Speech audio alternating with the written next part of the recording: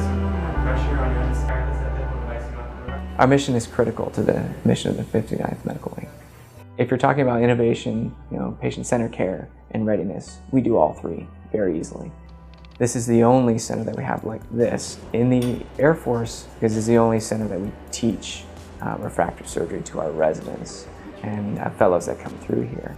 But we have a lot more research opportunities here and uh, we investigate any refractive procedure that's coming to market here at the center first before we deploy it to the rest of the centers in the Air Force. I didn't really appreciate the importance of this mission until I was deployed in Afghanistan where I saw a lot of our injuries coming in our soldiers were contact lens related injuries. And this could have been completely avoided had they been exposed to the uh, life-changing surgeries that we provide here. The whole reason I wear these scrubs is as a reminder to me and to them you know, why we're really here.